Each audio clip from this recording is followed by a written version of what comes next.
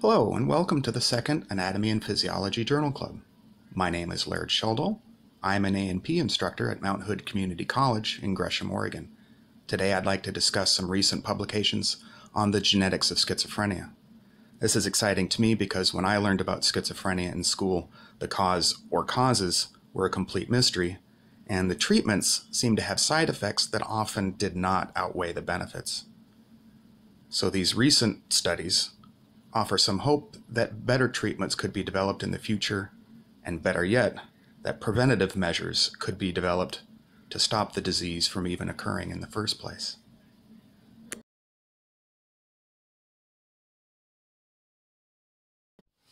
My presentation today was inspired by an article in the Genetic Literacy Project, which does a very good job of describing the technology of genomic analysis and the hopes that personalized medicine offer us. It is a summary of research published in 2016 in Nature. I would like to focus on what we have learned in A&P class that helps us to understand what is complement component 4 and how it could possibly be involved in the development of schizophrenia. Let's start with schizophrenia. Current theories suggest that schizophrenia develops in a two-step process. The first step occurs when we are tiny little embryos developing inside the uterus. This is when the central nervous system is first growing. It's not hard to imagine that damage to the nervous system at this time could lead to things like schizophrenia, but this is not the time when symptoms of schizophrenia first arise. Typically, that happens much later during our teenage years. And this is a time when the brain is undergoing a different process. Instead of growing rapidly, this time period is characterized more with pruning or the removal of neurons. And in fact, a healthy brain is going to remove about half of the neurons that it grew in the first place.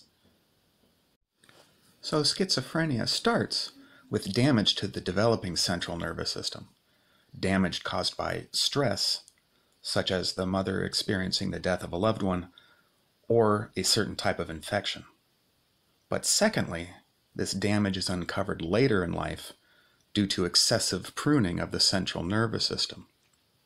Now, pruning is normal, but too much pruning, specifically in a region called the prefrontal cortex, might lead to schizophrenia.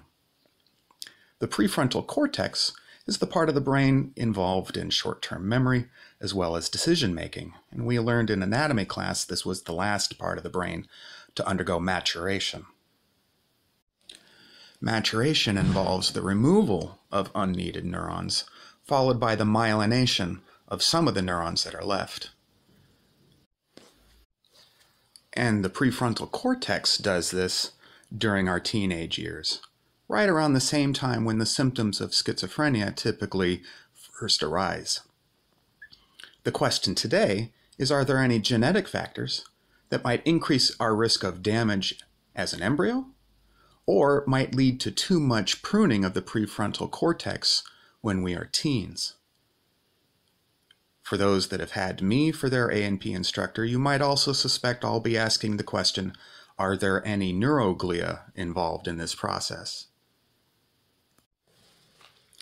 The Nature article looked at the entire genome of a number of people who have schizophrenia and compared it to the genome of people who do not have it, and asked the question were there any genes, or more specifically alleles, that seem to contribute to the onset of the disease.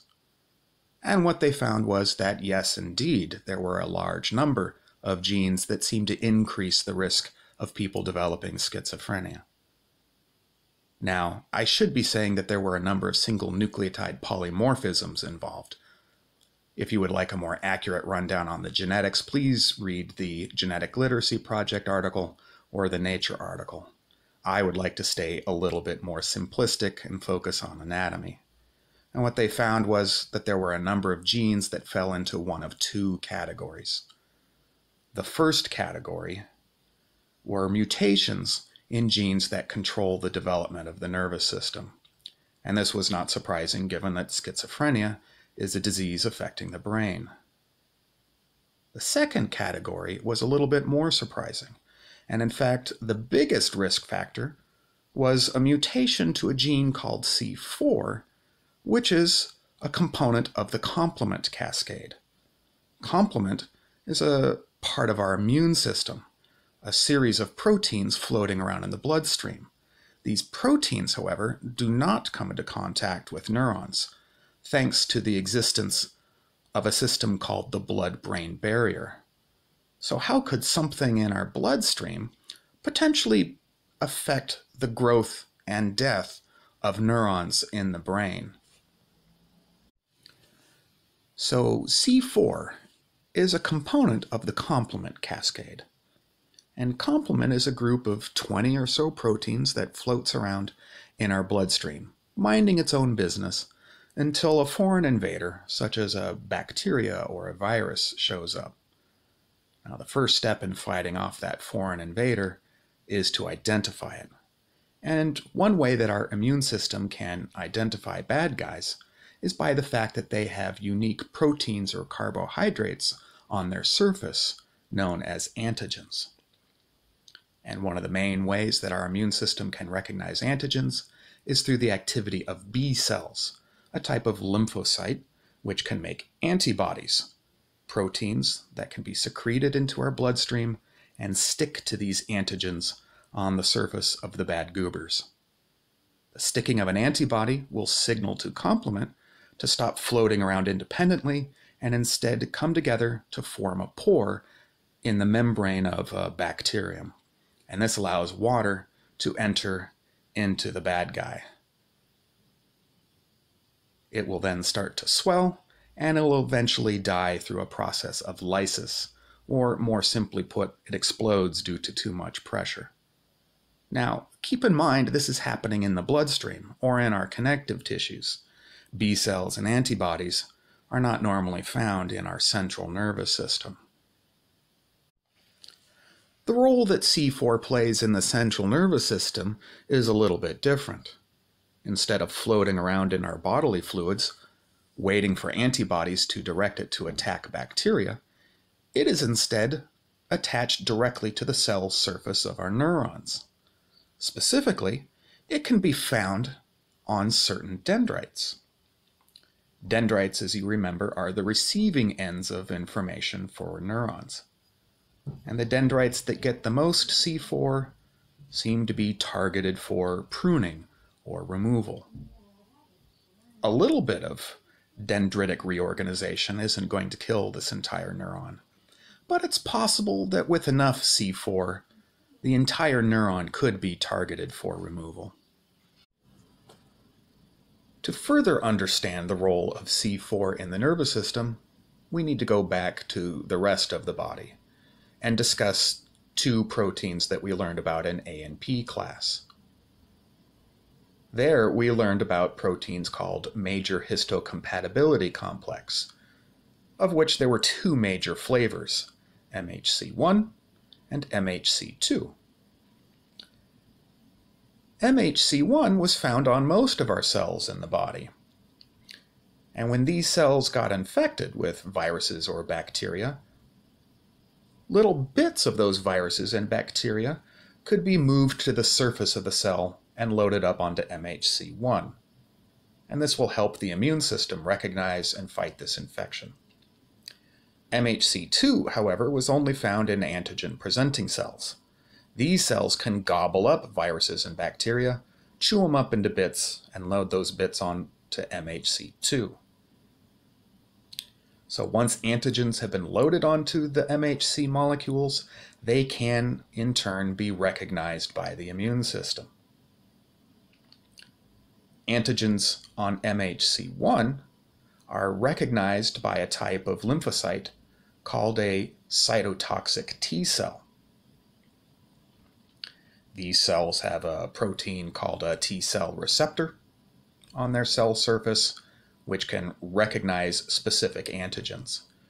And when they do, they will tell the infected cell to undergo apoptosis. Antigens on MHC2 trigger a different response. These are recognized by T helper cells, another type of lymphocyte. These cells also have T cell receptors, which can recognize specific antigens. But when they recognize an antigen, instead of killing this cell, which isn't infected and therefore doesn't need to be killed, instead, these release cytokines, which increase the activity of cytotoxic T cells, the B cells that we learned about on the previous slide, and a number of other white blood cells that are part of the innate defenses, which I haven't talked about at all. This still doesn't tell us where C4 fits into the whole scheme of things. Remember, MHC1 and 2 are on one side of the blood brain barrier, and C4 is on the other. It turns out C4 is a third type of MHC molecule. This family of MHC molecule can be found on neurons in the central nervous system and can be used to target dendrites for removal or even entire neurons for pruning. However, T cytotoxic or T helper cells cannot be involved in this process since they are on the opposite side of the blood-brain barrier. And instead, we rely on the activity of another type of cell called microglia. We learned about these when we learned about the nervous system as a type of neuroglial cell, but in reality, they're a type of white blood cell that moved across the blood brain barrier so that these cells could take up permanent residence in the brain and act as the macrophages there. C4 can be used to help target microglia to the proper places, to remove dendrites or even entire neurons. We are learning that these cells are involved in a number of diseases that affect the central nervous system, not just schizophrenia, but also diseases like Alzheimer's disease and autism. And we're seeing evidence more and more that altered microglial function can speed up these neurodegenerative processes. And so now we think with too much pruning and too much microglial activity in the prefrontal cortex, this could lead to schizophrenia. And now knowing this, we could start designing drugs that might block or slow down the activity of microglia and therefore reduce diseases like Alzheimer's disease or possibly even prevent schizophrenia from arising in the first place and reducing the need for drugs throughout the rest of a person's life. And this is particularly exciting given that we do not have good treatments currently for schizophrenia. So there you have it. That's how a protein, C4, that's involved in the complement cascade out in our bloodstream might also be contributing to the progression of diseases like schizophrenia and possibly others like Alzheimer's disease and autism. So if you'd like to learn more, check out one of these fine publications I have listed here in my bibliography, and otherwise I will see you next month. Thank you for watching.